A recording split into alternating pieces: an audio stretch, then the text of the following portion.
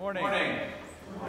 Welcome, Welcome to worship here at Shepherd Lakes Lutheran Church. It is our joy, as always, to share our shepherd with you, no matter who you may be. We welcome all of you who are in attendance. We welcome those who are streaming with us online. Uh, we'd love it if you'd let us know that you're there in the comments, and we welcome the visitors who are with us today. Um, if you are visiting with us, we humbly ask you to fill out a welcome card in the chairs in front of you uh, with some information you're comfortable with sharing. Um, we want to take the opportunity to say thank you for being with us today. You can place that in the offering plate as it passes by um, later on during the service. Now, our service today, again, is, is kind of a, a special service. The last couple of months here at Shepherd of the Lakes, we have been focusing on our Christian stewardship. Uh, that is focusing on, on being good stewards, good managers of all of the things that God has given to us. Um, that includes our, our time, that includes our talents, that includes the people in our lives. And as we most commonly think about it, it also has to do with our wealth, those kinds of physical blessings that God gives to us. Um, and so, as we enter our final month of our stewardship challenge, challenging ourselves, having God's word uh, challenge us in the way that we steward, um, that is what we're going to be focusing on today um, as we focus on living a life lived shrewdly. We'll talk more about that in the service for today. Um, our service is printed out for you um, in your service folder. We'll be following along with the special service in here. We'll have everything displayed for you on the screens. Um, this morning, we'll, we'll, begin with our, with our opening and our um, responsive confession and absolution. Uh, I invite the congregation to please stand. And may the Lord bless, your, worship, this morning. In the name of the Father, and of the Son, and of the Holy Spirit. Amen. Heavenly Father, every good and perfect gift comes from you, including the physical gifts you pour out into our lives. You intend these treasures to be used for your glory and in service to our neighbors. We repent for being selfish in the use of the treasures you have given. Forgive us and let your peace rule our lives.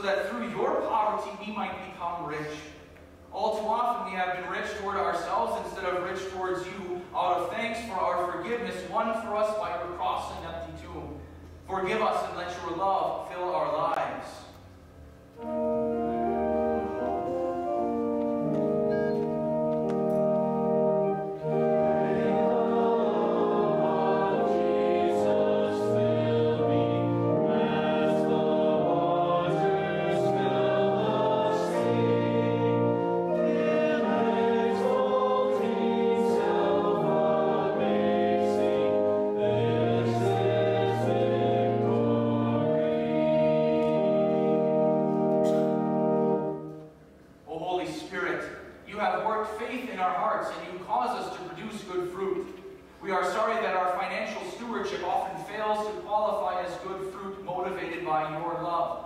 Forgive us and live within us.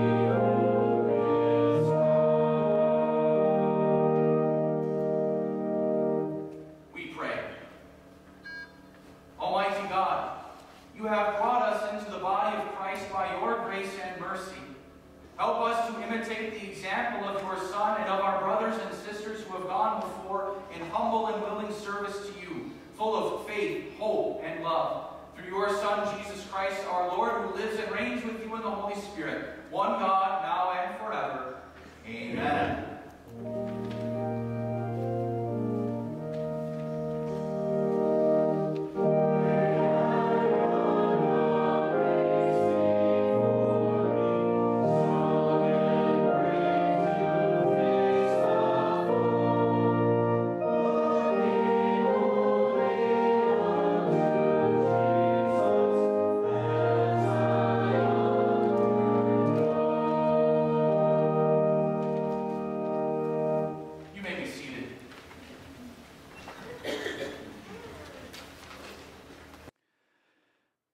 turn our attention to God's word selected for today, beginning with a reading from 2 Kings chapter 4.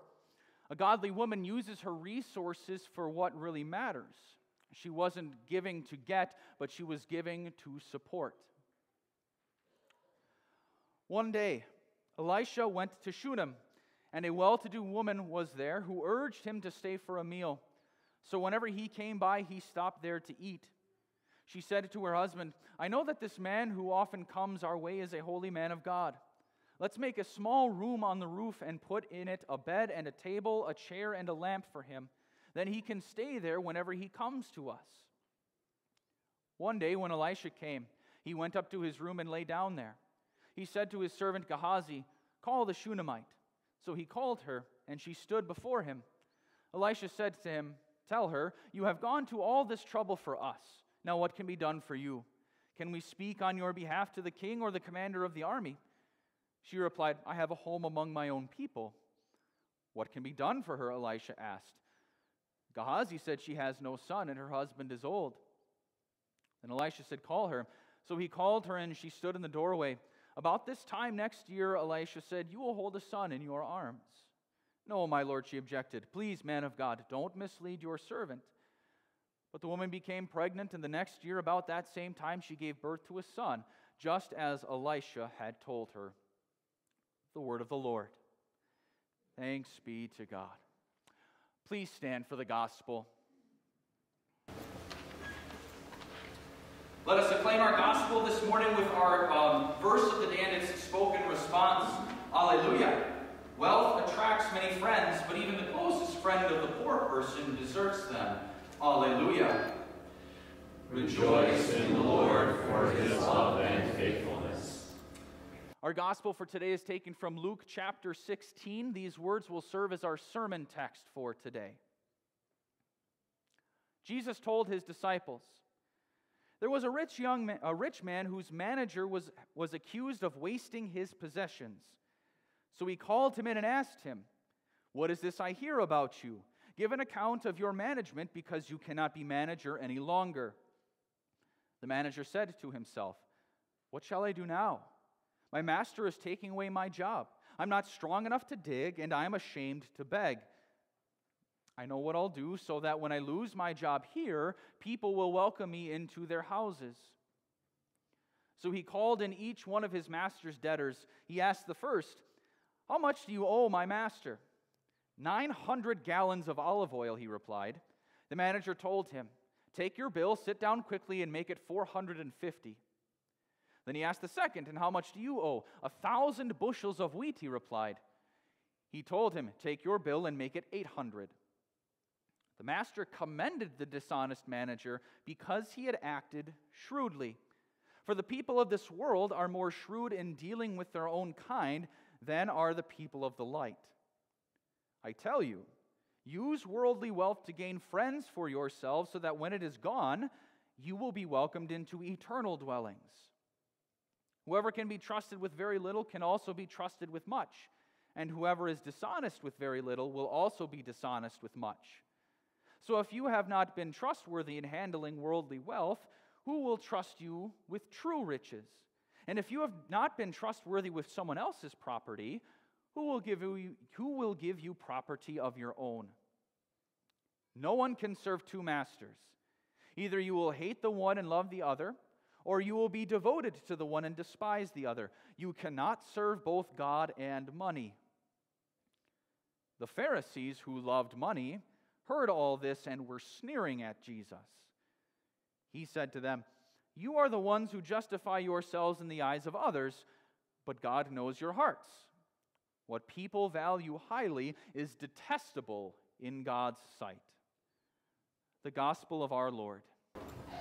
Praise be to you, O Christ. You may be seated. At this time, we'll join in singing our hymn, What is the World to Me? Um, today we will refrain from having a children's message, so we will sing the whole hymn, What is the World to Me?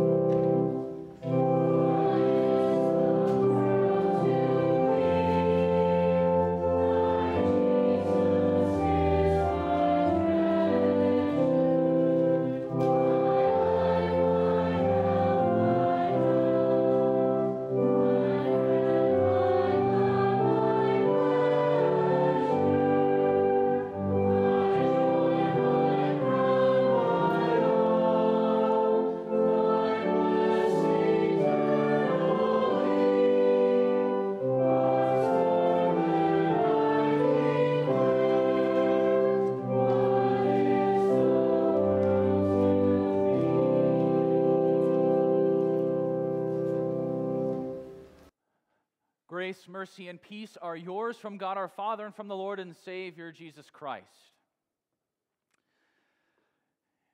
It's okay, you can be honest with me. Were you dreading today? We've been spending the last three months talking about stewardship. We've been looking at the different angles of stewardship. We've been looking at lives lived as his disciples, cherishing his word. We've been looking at a life lived for others as we, we deal with those that God has put into our lives. We've dealt with living lives of hospitality. But now we get to the one thing that everyone really thinks of when we think of stewardship money. Now, we wouldn't be doing ourselves and God's word justice to claim that, that what we're doing today is just talking about money. Really, we're talking about our attitude when it comes to money. Wealth, riches, money, they are all tools. They're tools for us to use, they are a means for us to serve. And the way we use it tells us a lot about our attitude towards it. It's a good indication of whom we are serving. And that's the question for us today. As we go through the words of our Savior today, we are going to be asked this question. We are going to ask ourselves this question Whom will you serve? Will you serve the things entrusted to you, or will you serve the one who entrusts these things to you? Which master is the one who has truly given you purpose? This evaluation of our attitudes comes during the last year of Jesus' life. Uh, he's spending time with his disciples, teaching them um, about what life will be like for his people after his death, resurrection, and ascension. And so the, these words are meant to be a teaching about how a, a Christian thinks about money. And as he so often does to teach, Jesus uses a parable. And now, as we get into this parable, it's important for us to understand that the lesson we are being taught is not to emulate the whole character of the individual we have in this reading, but to focus on a specific aspect, a specific characteristic of this individual. Jesus told his disciples, There was a rich man whose manager was accused of wasting his possessions, so he called him in and asked him, what is this I hear about you? Give an account of your management because you cannot be manager any longer. Jesus explains that there was a manager, a steward, who was being accused of being bad at his job. He had mismanaged the wealth of his master and was going to be fired for it. The manager said to himself, What shall I do now? My master is taking away my job. I'm not strong enough to dig, and I'm ashamed to beg. I know what I'll do so that when I lose my job here, people will welcome me into their houses. He really didn't have any other options after this.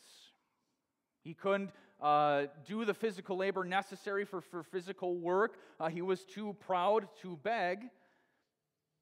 And he recognizes that in this situation, the solution to his problem has to come outside of himself. He can't solve this problem himself.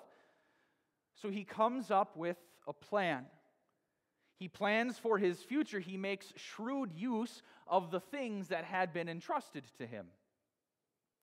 So he called in each one of his master's debtors. He asked the first, How much do you owe my master? 900 gallons of olive oil, he replied. The manager told him, Take your bill, sit down quickly, and make it 450. Then he asked the second, And how much do you owe? A thousand bushels of wheat, he replied.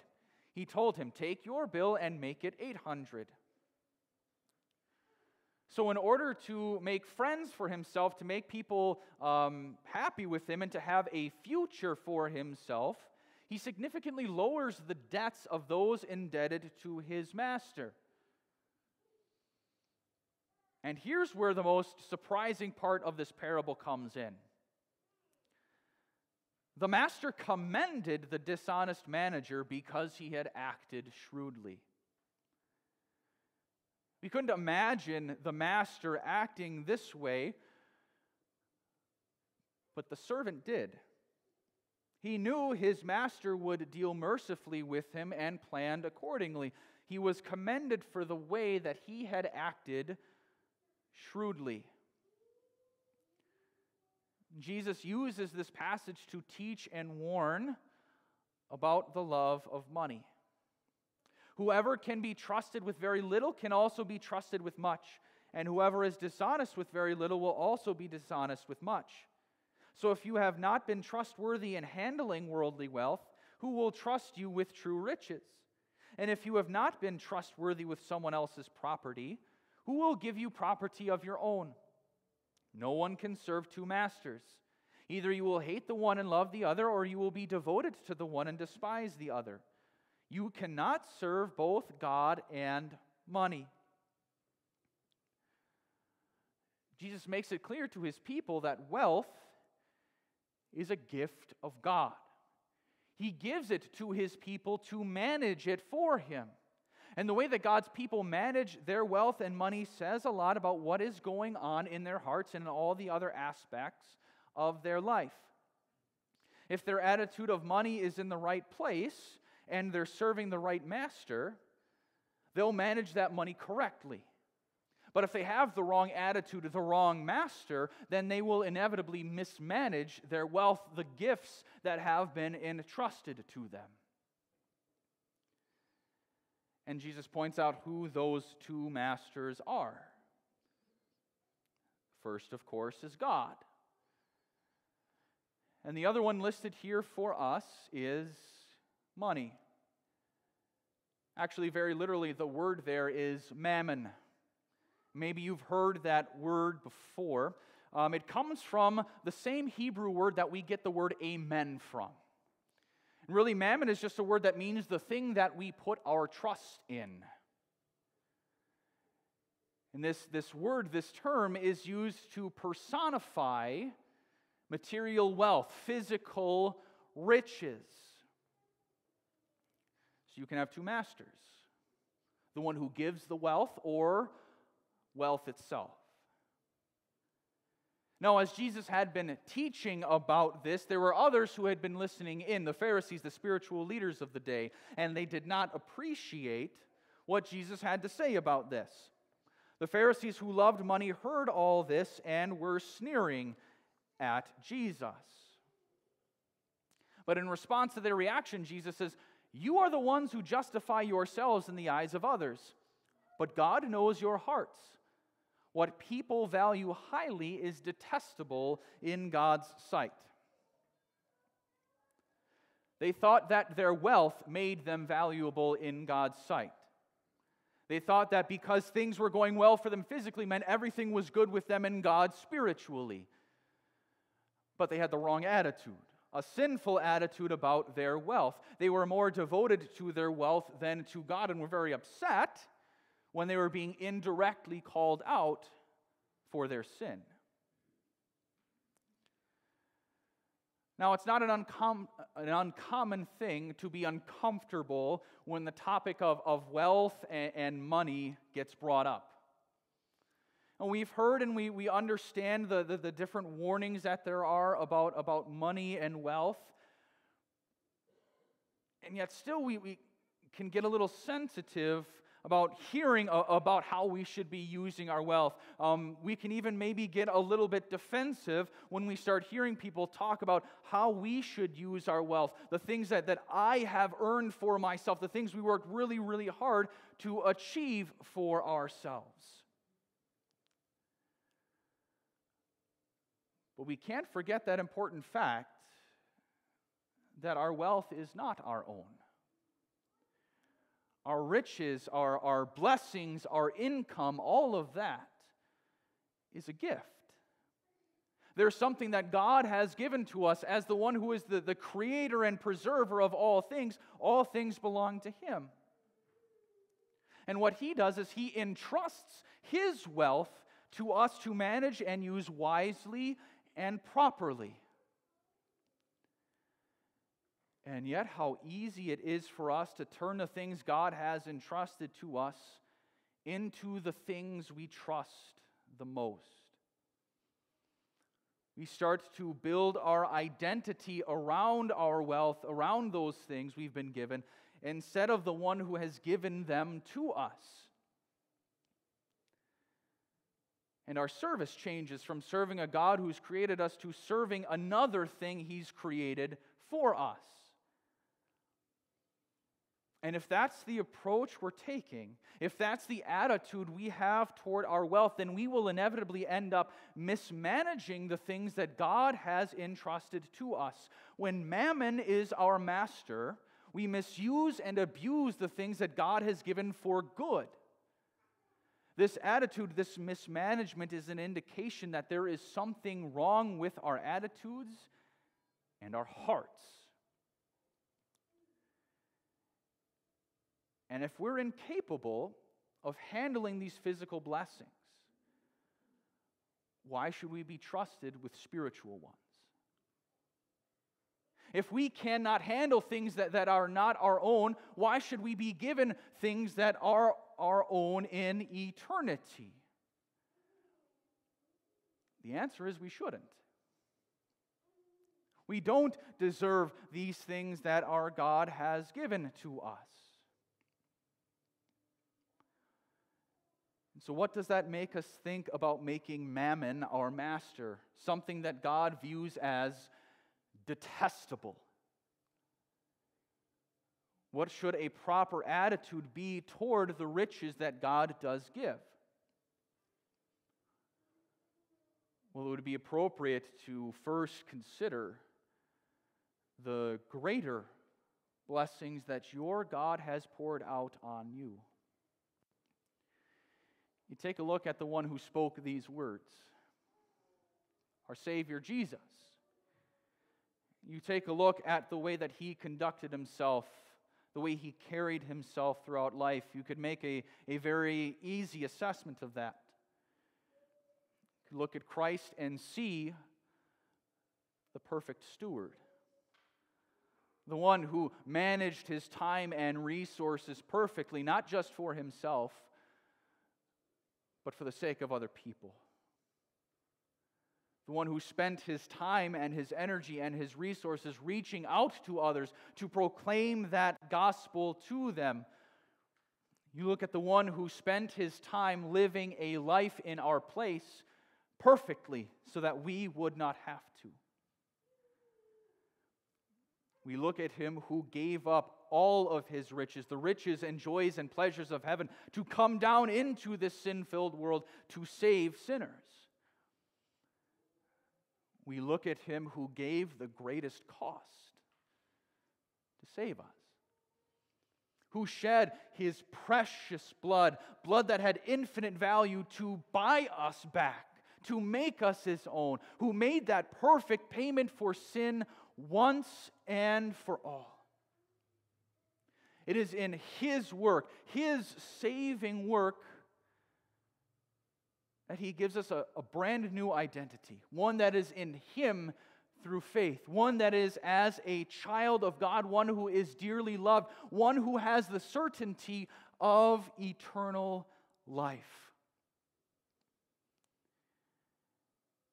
And it's because of Christ that even though time and time again we find ourselves failing to, to properly manage the thing God gives us, God doesn't fire you.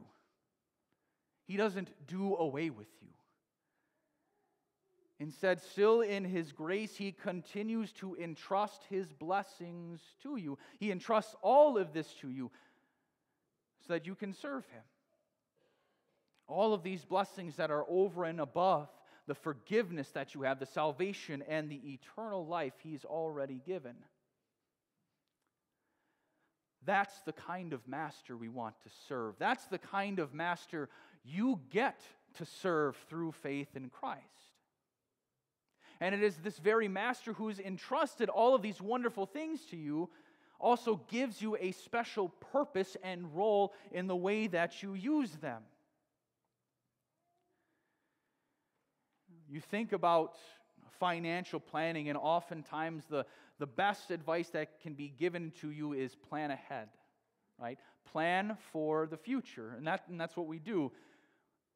We make sure that, that we're set up for retirement. We make sure that our, our families are, are provided and taken care of. Um, we make sure that, that there are, are gifts um, able to be given um, when that time should come. And that's exactly the kind of advice that our Savior gives us in His words. But actually, He wants us to plan even further ahead than that. I tell you, use worldly wealth to gain friends for yourselves, so that when it is gone, you will be welcomed into eternal dwellings. The wealth that we have isn't just to, to set ourselves up for life, we get to use the blessings God has given us to set up others for eternal life. Now, we understand fully that, that our money does not save us. We cannot buy our way into heaven. We can't take those things with us. But yet, we understand from these words at the same time, we can use our wealth to help others come to salvation. You saw in, our parable that, that this, this manager used, his, used that wealth to make friends for himself, and that's exactly what Christ calls his people to do. To make friends, to, to bring people into, you, into the family, to make use of this so that when the time comes, you'll be welcomed by those very same people in heaven into eternal life. So we look at what we have. We look at these words of Scripture. And as, just as we've been doing these last couple of months, we look at this and we say, we're going to challenge ourselves. That we're going to, uh, to challenge ourselves to, to plan for the future, not just our future, but for the future of God's kingdom. To challenge ourselves and look at all of the incredible blessings that God has given to us and say, what kind of gifts do I have? Do I have gifts that, that can support the church that I attend? Do I have gifts that can be given to, to support a, a special ministry in our nation or, or throughout the world? Do I have the means in which that I can, that I can use this um, um, to form a relationship with other people so that I can bring them an even greater gift? That is the gospel. And it's okay to challenge ourselves to do this. We're, we're, we're able to challenge ourselves to do this because ultimately in Christ we have freedom. We have freedom from our wealth, that it is not our end all be all. We're freed from, from the pursuit of that, and in order to see that it is, it is a means for us to use for the sake of others. We're able to challenge ourselves in this regard also because we're freed from the worry of our wealth, from the worry of being provided for. Because the one who has called you to this purpose is the very one who's going to make sure that you're taken care of. Going through this text, I, am reminded of, of uh, a really great passage from the book of Malachi, book of, uh, from Malachi chapter 3, verse 10 where the Lord says to his people as he's encouraging them to give, Test me in this, says the Lord Almighty, and see if I will not throw open the floodgates of heaven and pour out so much blessing that there will not be room enough to store it. We can challenge ourselves because God has put himself to the challenge to make sure that, that we are taken care of, that, that our needs are met, and that we can carry out His purpose for us in order to make friends for us. And you can think about the kind of result that has when God uses us to make friends, when God uses us and, and the tools we have to bring people to saving faith. You think about that welcoming on the last day when we are welcomed home by even people we never even met, who say to us, It's because of your giving that the gospel was able to reach. It's because of your, your support of, of ministry that I was able to, to hear the gospel for the first time and know about what Jesus has done for us. What that welcome will be like to join those people together with the Lord, who in his grace has done all things so that we could stand there with him in the greatest riches possible that paradise that knows no end. This is the kind of God we get to serve. One not only who has entrusted us with things, but who has also given us a purpose to use those wonderful blessings he has given to us. And so when we come to God's word and hear this, we don't have to dread talking about our wealth, talking about our money. We don't have to dread talking about our, our attitude towards them. Because we look at all of it as, as a wonderful gift. God, in His grace, has entrusted us with, with our wealth, with all of these things. He's given it as, as another outpouring of His grace through His Son, Jesus. And He says, and you get to go and use that. You get to go and use that for the sake of others, so that others can be brought to that same saving truth, so that they can have the same blessings spiritually that you do. This is the God we want to serve. This is the God we are happy to serve. This is the one we get to serve shrewdly. Amen. The peace of God, which surpasses all understanding, will guard your hearts and your minds in Christ Jesus. Amen. Please stand. Let us continue now in confessing the true Christian faith using the words of the Apostles' Creed. I, I believe in God, the Father Almighty, maker of heaven and earth. I believe in Jesus Christ, his only Son, who was conceived by the Holy Spirit, born of the Virgin Mary, suffered under Pontius Pilate, was crucified, died, and was buried. He descended into hell. The third day he rose again from the dead. He ascended into heaven and is seated at the right hand of God the Father Almighty. From there he will come to judge the living and the dead.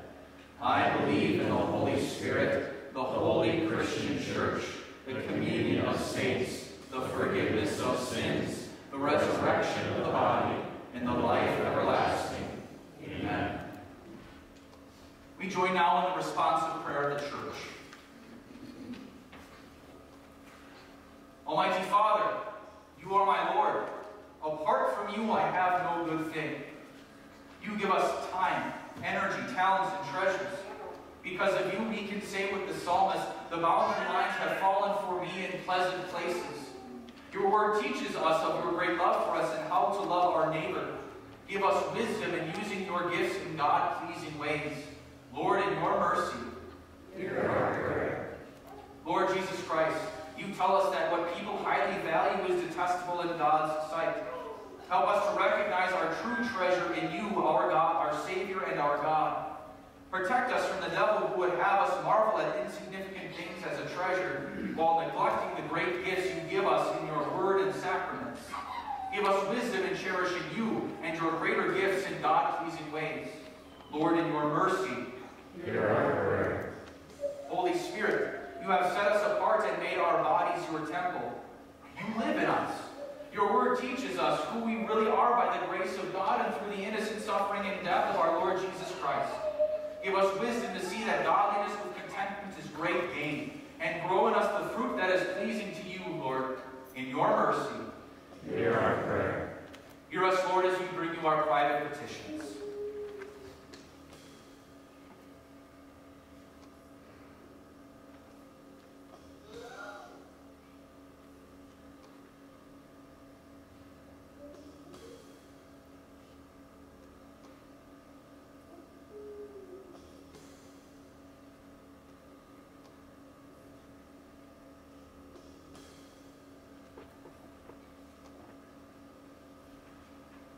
Accept our prayers for the sake of Jesus our Savior. Help us to not be arrogant nor put our hope in wealth, which is so uncertain, but help us put our hope in you, who richly provides us with everything for our enjoyment. For Jesus our Savior's sake. Amen. We join together to pray. Our Father, who art in heaven, hallowed be thy name. Thy kingdom come, thy will be done on earth as it is in heaven. Give us this day our daily bread, and forgive us our trespasses, as we forgive those who trespass against us. And lead us not into temptation, but deliver us from evil. For thine is the kingdom, and the power, and the glory, forever and ever. Amen. You may be seated. At this time, we'll gather our thank offerings to the Lord.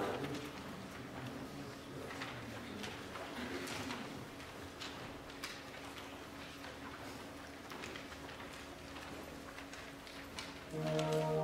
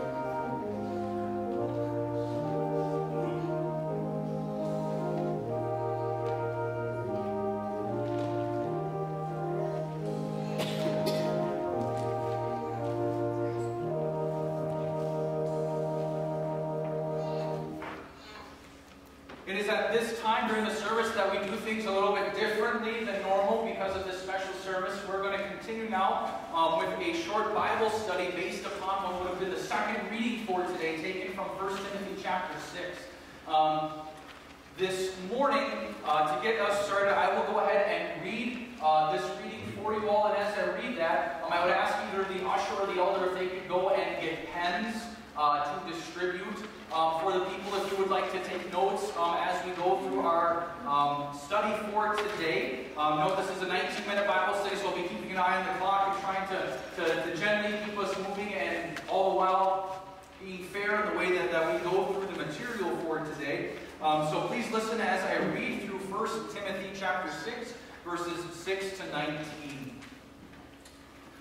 But godliness with contentment is great gain. For we brought nothing into the world, and we can take nothing out of it. But if we have food and clothing, we will be content with that. Those who want to get rich fall into temptation and a trap, and into many foolish and harmful desires that plunge people into ruin and destruction. For the love of money is a root of all kinds of evil. Some people, eager for money, have wandered from the faith and pierced themselves with many griefs. But you, man of God, flee from all this and pursue righteousness, godliness, faith, love, endurance, and gentleness. Fight the good fight of the faith. Take hold of the eternal life to which you were called when you made good your you made your good confession in the presence of many witnesses. In the sight of God who gives life to everything and of Jesus Christ, who while testifying before Pontius Pilate made the good confession, I charge you to keep this command without spot or blame until the appearing of our Lord Jesus Christ which God will bring about in his own time. God, the blessed and only ruler, the King of kings and Lord of lords, who alone is immortal and who lives in un- unapproachable light, whom no one has seen or can see, to him be honor and might forever. Amen. Command those who are rich in this present world not to be arrogant, nor to put their hope in wealth, which is so uncertain, but to put their hope in God, who richly provides us with everything for our enjoyment. Command them to do good, to be rich in good deeds, and to be generous and willing to share.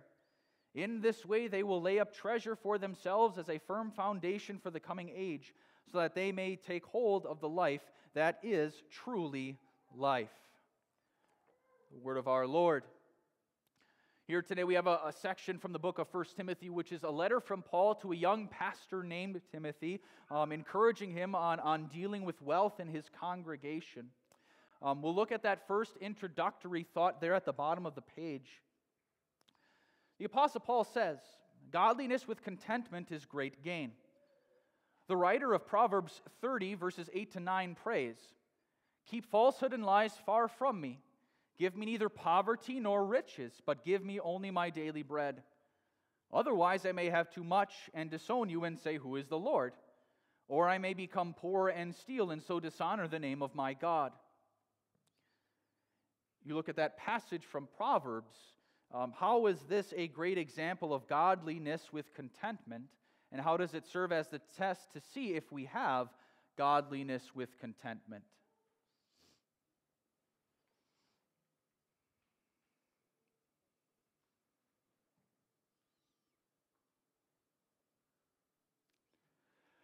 Ultimately, in the pursuit of wealth, if we are focusing too much on our pursuit, as, as the writer of that proverb says, what might that ultimately bring us to?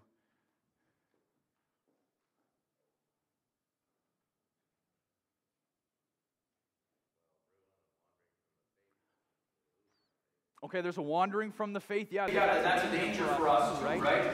Um, um, and before we get there, right, um, uh, as the, the writer of the Proverbs in that, in that question says, right, um, if we're continuing in our, in our pursuit for wealth, what will we use ultimately to get it? We'll do anything and everything, won't we? Including falsehood and lies.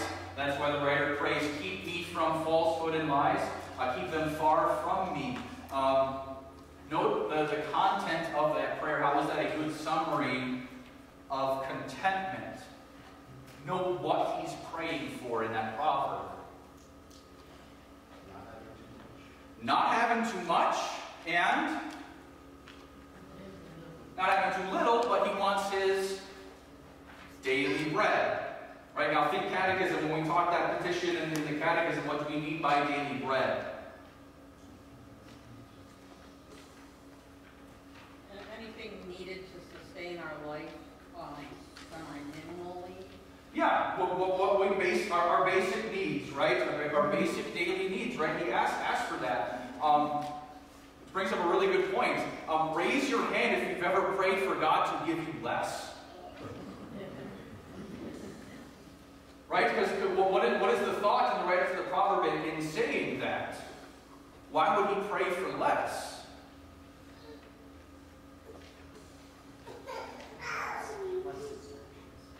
What's that? Less distractions, right? Um, what does he say? Otherwise, I may have too much and disown you and say, Who is the Lord? Look at what I have. Look at what I have accomplished. Look what I have gained for myself. Look how great this stuff is. Who needs a God when you are set with what you've got, right? So there's that warning on, on either side of it, right? Um, I don't want too much, otherwise my heart will turn away. I don't want too less, so that uh, my heart falls into sin in, in, in that regard as well. Um, looking for that contentment. All right, so now let's go get into the, the text of Timothy properly, um, looking at the into the text section that starts on the top of the next page. Verse 10, uh, verse 10 of our reading, the, the last part of the very first paragraph um, is one of the most misquoted verses in the Bible. Many say money is the root of all kinds of evil instead of the love of money. Prove that money itself is not evil. If money were evil, we probably wouldn't take an offering here. Yeah, right? Okay, that, that's a good point, right? Would we be asking people for money at church if money itself were evil? That's a good point.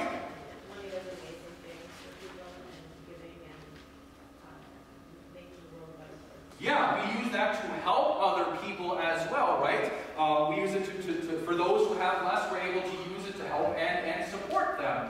Um, do, a, do a quick think, thinking back and remember some of the, the prominent people in the Old Testament. What did they have a lot of?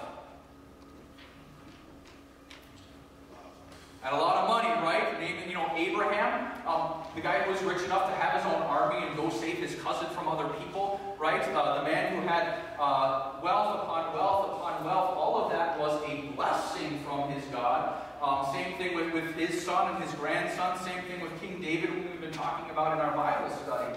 Um, all of them had wealth, and was those were, were blessings, right? What is the problem what really is the problem with money, not money itself? Love. Right? The love, right? What's going on in here and how we think about it, right? The problem is not money, but with the heart towards money. That's why those without money can have money problems too. It's, it's the desire for it, right? Um, wanting more and more and more. Number two. In verse 11, Paul tells Timothy to flee from all this, that is the love of money, and pursue righteousness, godliness, faith, love, endurance, and gentleness. How does each help a person flee from all this and acquire contentment? Maybe we'll get things started this way. Ultimately, when we want to pursue these things, where do we go? What's that? Prayer. Prayer, certainly right. So when we ask for these things. Where do we find them? In the Word, right?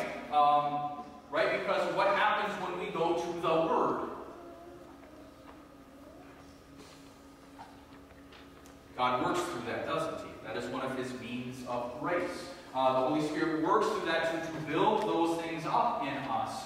Um, and so, as, as, that is working more in us, what are we uh, less likely than to pursue? Right, yeah, the wrong stuff, right? That we're not focusing on, on the wealth here. No, I'm focusing on, on the, the things that I'm called to do. Um, knowing all the while that it is the Lord who provides those for me. Um, so that, that in, in, looking at righteousness and living rightly before God, I'm not worried about that. Um, living a life of faith, fully trusting in God, not in anything material, loving God above all things, um, enduring even when there may be troubles or hardships. Yeah, I can hold fast because I know who my God is, um, and gentleness, um, not getting upset and, and dealing with people in, in improper ways because of this. Um, we focus on Him, uh, our love for Him, and our love for others. Number three. Uh, in verse 13 and following, Paul alludes to Jesus' second coming. Uh, in what ways is this motivation to flee from all of this?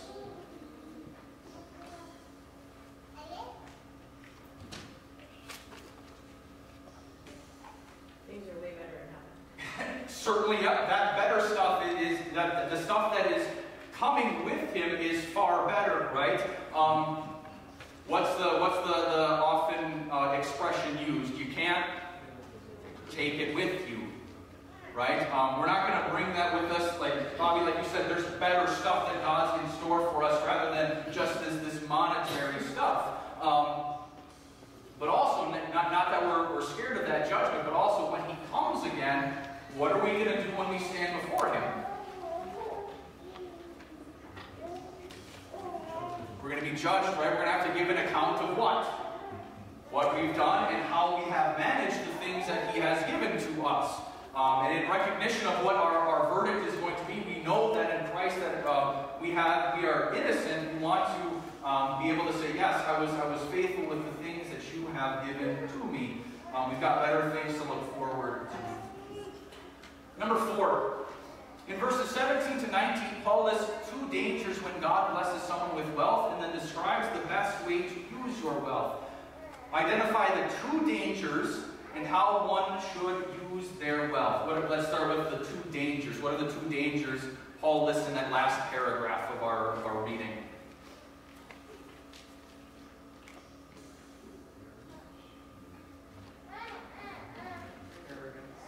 Arrogance, right? What would that arrogance be in?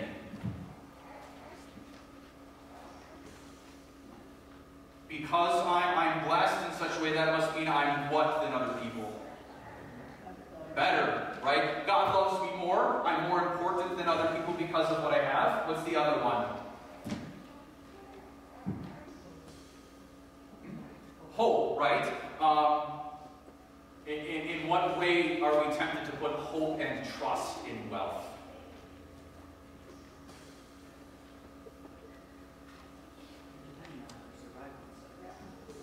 Yeah, right? Um, how am I going to get out of the situation? Just spend it, right? Um, how am I going to, to get through uh, this moment in my life? Well, if I buy enough stuff for me, if I have enough, uh, that is the thing that is going to help me. Um, yeah, it's easy to put trust in riches instead of the one who gave them to you. Um, would we be more content as people if we had $10,000 in our checking account or zero? Ultimately, in Christ, neither of those numbers matter, right? It doesn't matter, uh, but think of why we want to save more and more. It's not, not what, but the why. Um, anything else on the into the scripture section? Please. So having too much money can lead us into spiritual danger.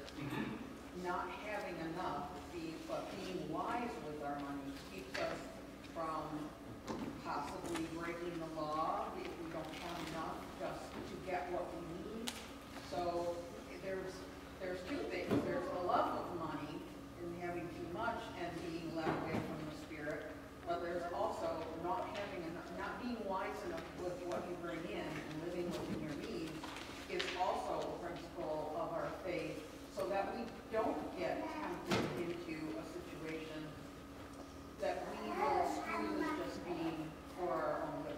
Right, and that's the we um, you're right. The waiter that proverb brought that up in our introduction, right? Yeah. What's what's the, the sin on the other side of the road, the other gutter that we can fall into, right? Um, it is well in my pursuit. I don't think that I have enough. So what is that going to lead me to do? Uh, it's going to lead me into other areas that, that are that are dangerous and, and sinful. All right, let's let's finish up with the applying it section there. Um, for what reasons can a person who loves money not be content? Never enough, right? Um, yeah, never, yeah, can never ever be enough. You will always want more. Uh, there's a, a, a, phrase here in, in the notes, right? Idols are insatiable. Whatever it may be, it's never enough. We always need more of that thing, whether it's money, whether it's whether it's food, whether it is alcohol, whether it is any of those things, it's never enough because they, those things can never truly satisfy what we really need. Um, only God, God is the only one who can do that. Uh, final point number two Jesus said it is more blessed to give than to receive. Um, explain the truth of Jesus' words when it comes to our spending priorities, like gifts to the Lord, paying taxes, providing for family and the poor, etc.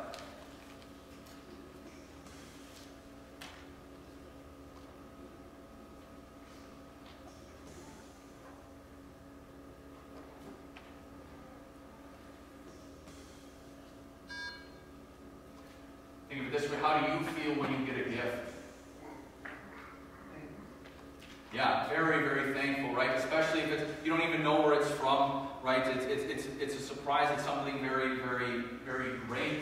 Um, we can provide that for other people as we, as we seek to love them. Um, other thoughts?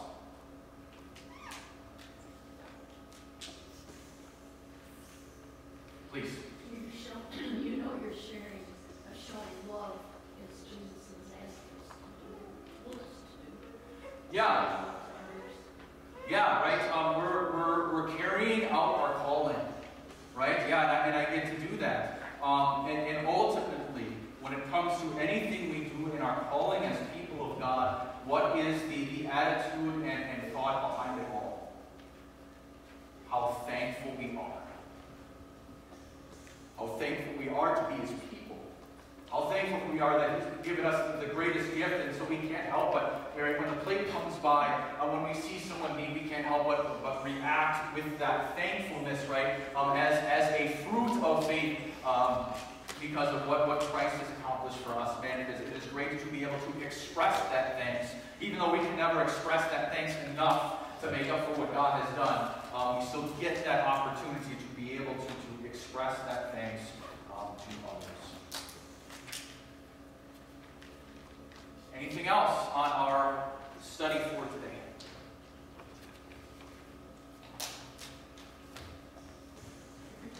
All right. Um, with that, then, um, we will continue with the, the, closing of the service with the blessing um, and, the, and the closing hymn. Um, just a reminder that, that um, as, as you continue to think about this, as you, you think about this on your way home today, you've got your um, challenge cards for this month in your mailboxes. So already now take time to think, okay, Um, God's Word has challenged me this way. What are ways in which I can meet that challenge? What are ways I can challenge myself in the coming days, weeks, months, um, in, in, in, carrying out this aspect of my stewardship? Um, that box will be there um, at the entrance to the sanctuary for you to put in. You've got time today to put that in. You also have next Sunday uh, to put those things in the box. So please do take time as I walk back up to the altar and the rest of the day. Um, consider that, uh, meditate on that, go back to God's Word, read it again. Um, think about ways that, that we are able, we have to, but we get to um, serve our God in that way.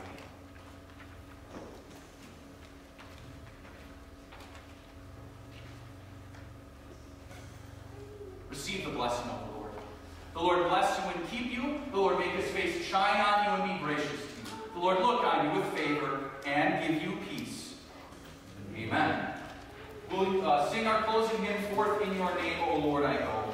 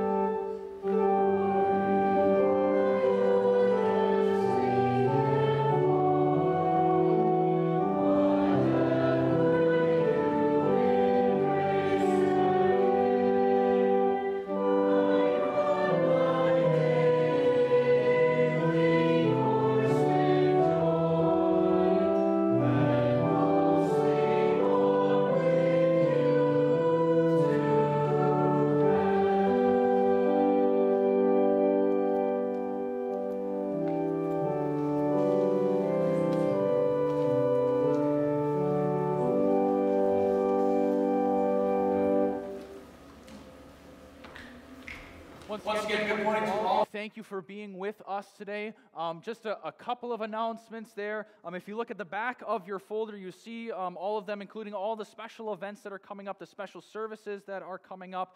Um, please note uh, the blood drive is coming up this Friday. Um, we're looking for some people to help sign up. If you've got any questions or are interested in helping, um, you can uh, talk to Joan about helping out with, with the blood drive.